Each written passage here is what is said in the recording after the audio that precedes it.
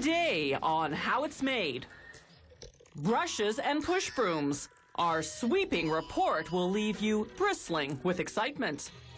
Blackboards, a topic chock full of fascinating facts. Smoked salmon, the whole process, lox, stock, and bagel. And zippers, we're off to a factory that pulls it all together. Nothing scrubs or sweeps quite like a good sturdy brush.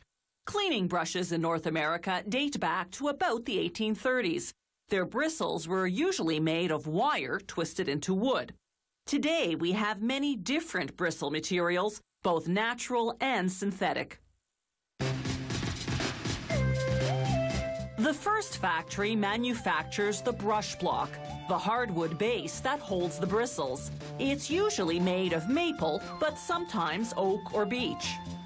After cutting the planks to the required width, they use a special wax crayon to mark lines on both sides of any cracks or knots in the wood. A laser then reads the marks, guiding a saw to cut out the faults. At the same time, the saw chops the planks into block size lengths. The next step is called molding. A series of saws trims the blocks to the required thickness. Now they contour the pieces using a machine appropriately called a shaper. The machine revolves, running the block's outside edge against a cutting head. This profiles half the block. Workers then turn it around and line it up for a second pass to profile the other half. There's a different shaper machine for each model.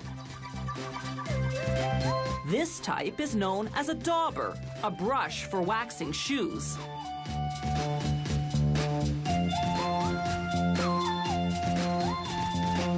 For the cuts to be accurate and smooth, it's essential that the machine's cutting heads remain sharp despite repeated use. That's why they're made of carbide, a material more resistant than steel.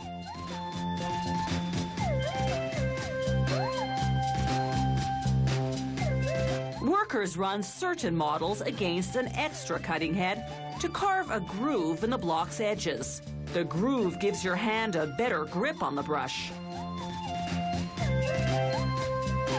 These six and a half by 60 centimeter blocks will become push brooms, those wide rectangular brooms janitors use to sweep floors. The blocks go on an automated machine that drills a hole through the middle and carves two grooves in the underside. These are for the steel adapter that'll hold the broom's wooden handle. Rounded push brooms sweep more easily in corners. To produce those, workers just take the rectangular push broom blocks and round the corners against a cutting head. At another factory, the blocks go onto a machine that pierces holes for the bristles using a computer-guided drill. This particular model, a push broom, needs 240 holes. It takes barely a minute to drill them all.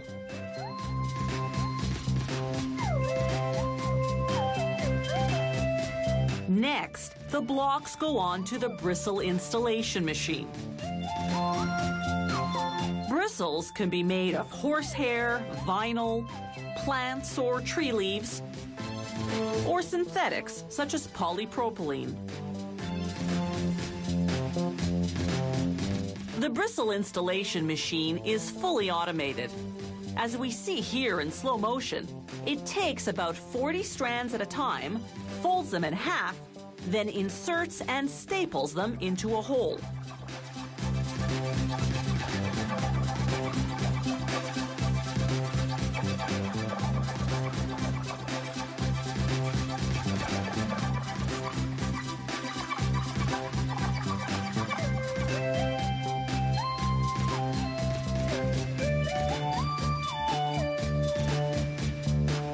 Here's what that bristling action looks like at actual speed.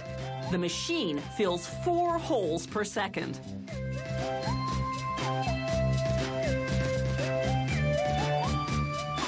The factory uses this same process regardless of the style of brush block or type of bristle. Computer software guides the machinery to follow the correct pattern, making possible a sweeping array of brushes and brooms.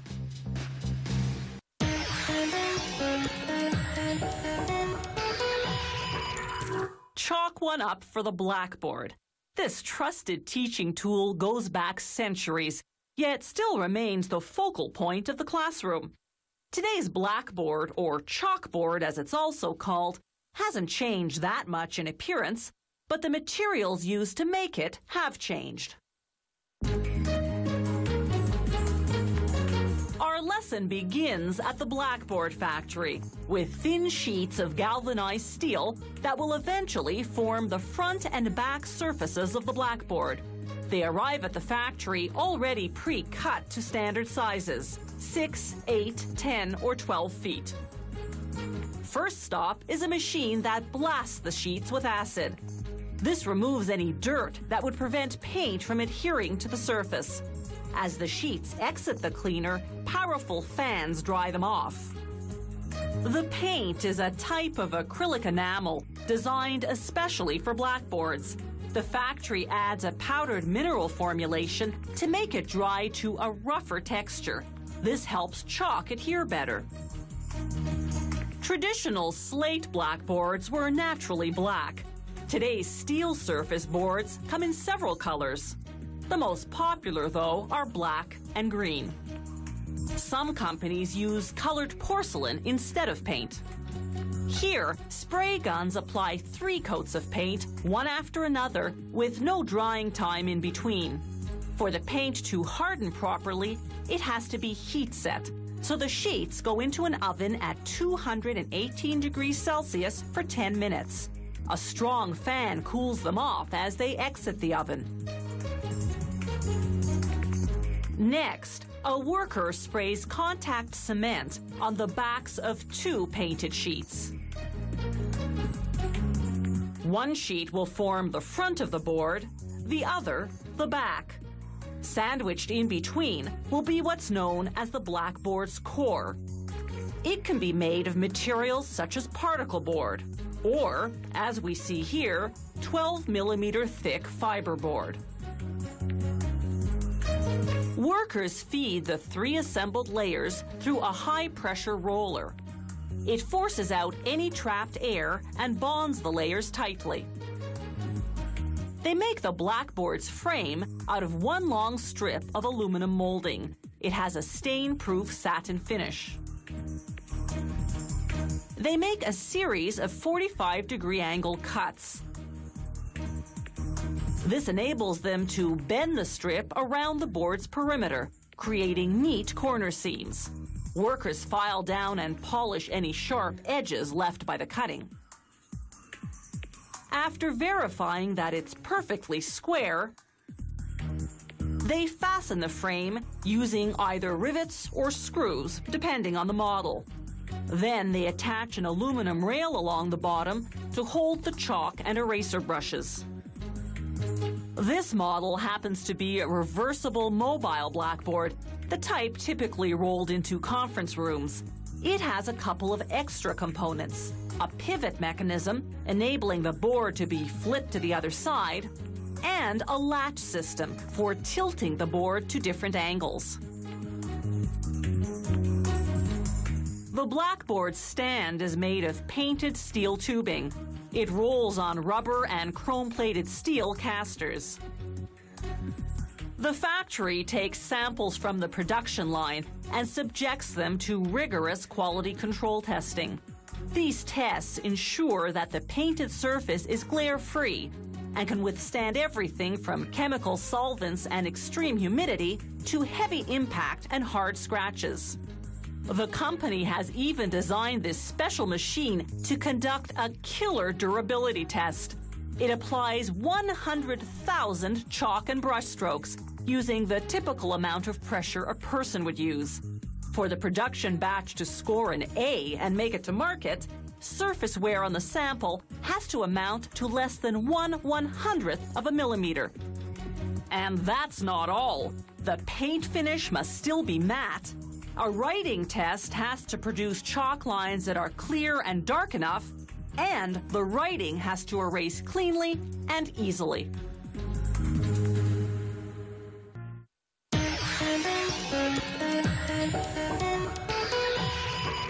For thousands of years, smoked fish was a survival food.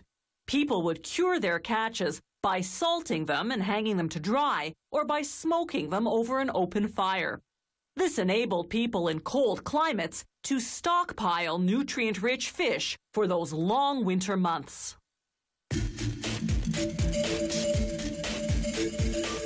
Today we smoke fish primarily to enhance its flavor. This is wild sockeye salmon that was gutted and frozen right on board the fishing trawler to preserve maximum freshness.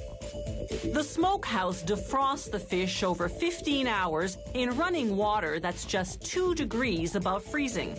This slow, cold water thaw helps prevent bacteria from forming. Next stop, filleting. First, they slice off what's known as the collar, the fish version of the neck. Then they cut each fish in half lengthwise, separating two fillets from what's called the control bone, the fish equivalent of a spinal column. The tail is attached to it. They feed the control bones into a machine that strips off any remaining scraps of flesh. The machine grinds these bits into minced salmon, which is used to make salmon pie. They trim the fillets using a razor sharp knife, slicing off the fins, any excess fat, and any control bone fragments left behind. After this, the fish will be ready for curing, a preservation process that also enhances taste. Workers coat the fillets in a mixture of salt and 26 spices, then let them sit for roughly an hour and a half. This short cure time will limit the salmon's salt content to less than 1%. To stop the curing process, they rinse off the coating with cold water. Then glaze the fillets with maple syrup to neutralize any remaining salt residue. Some companies use a less costly mix of boiled water and brown sugar. The fillets go into a huge smoke oven. Workers load its combustion chamber with sawdust. Maple tree sawdust for the first eight hours of smoking, cherry tree sawdust for the next eight hours, and apple tree sawdust for the last eight hours. This particular sequence is a major factor in flavoring the fish. They douse the fire with water to generate smoke. This process is called cold smoking because the oven temperature is 10 degrees Celsius, significantly lower than the industry norm of 25 degrees. Smoking at this lower temperature takes at least 24 hours, three times longer than the norm. But the company says it produces a moister product. When the fillets come out of the smoke oven, they're thoroughly cooked, but still have the consistency of raw fish. Workers remove the pin bones, 40 thin bones per fillet, located between the head and fin.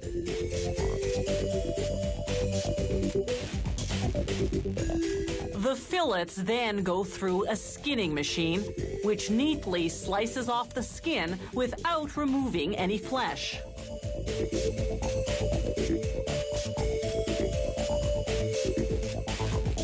Then it's into a freezer at minus 3 degrees Celsius. This firms up the fillets, making them easier to slice. The manual slicing machines cut them into pieces about 2 millimeters thick. Workers weigh out the amount they're packaging, in this case 70 grams. They place each portion on a tray made of aluminum coated cardboard. Aluminum blocks the fat from seeping through. To kill off any remaining bacteria, they vacuum pack the wrappers, then deep freeze them for about an hour at minus 35 degrees Celsius. They store and ship at a milder minus 18, the temperature of your home freezer, where this preservative free smoked salmon stays fresh for a full year.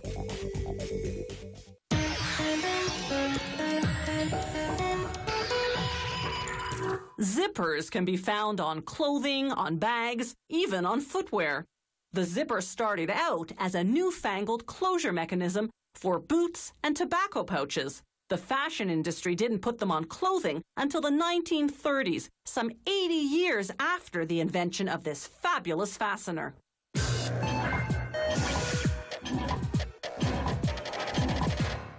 An American, Elias Howe, was the first to patent a zipper-like clothing fastener in 1851, but he never ended up marketing it. It wasn't until 1893 that another American, Whitcomb Judson, designed a similar device called a clasp locker. He eventually hired a Canadian engineer, Gideon Sundback, to simplify the original complex design, which had never really taken off. In 1917, Judson and Sundback patented the modern zipper.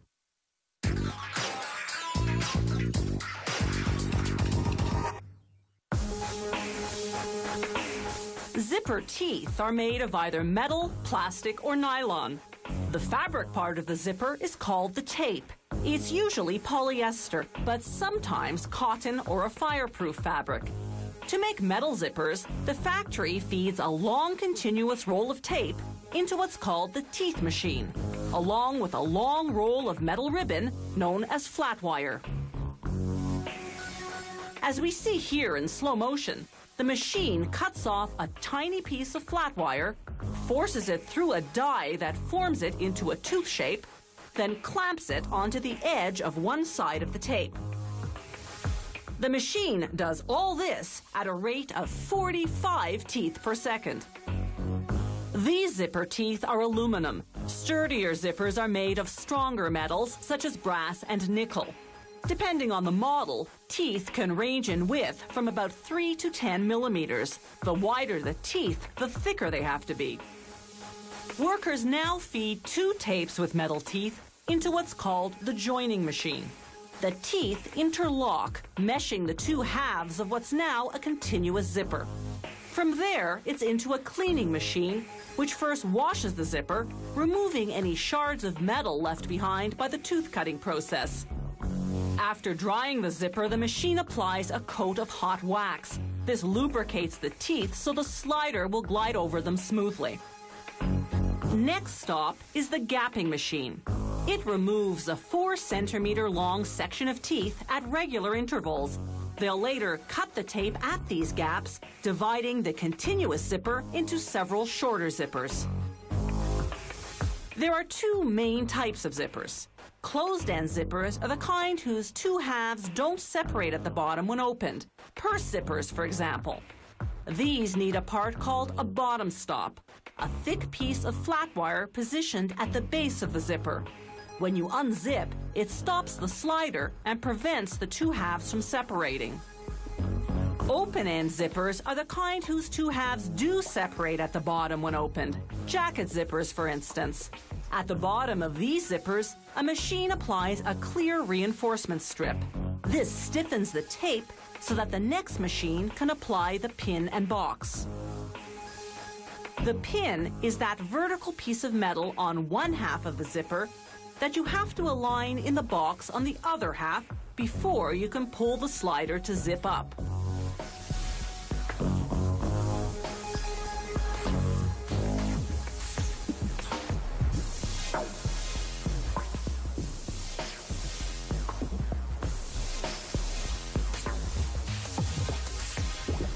The next machine installs the slider.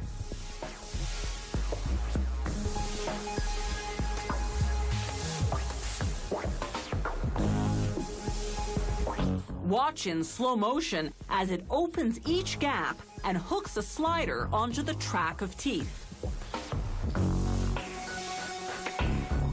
The next machine inserts what's called the top stop, a thick piece of flat wire that stops the slider at the top of the track when you zip up all the way. The machine then slices the tape at each gap, separating the finished zippers.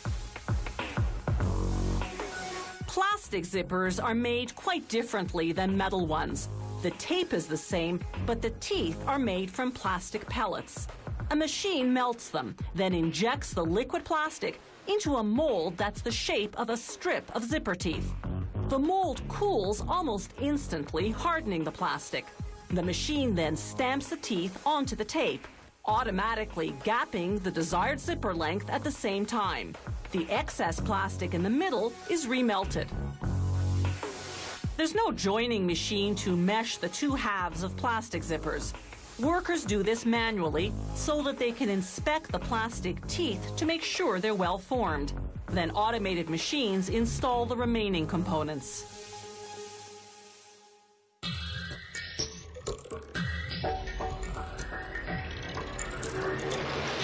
If you have any comments about the show, or if you'd like to suggest topics for future shows, drop us a line at www.howitismade.net. The How It's Made crew vehicle is courtesy of Subaru Canada.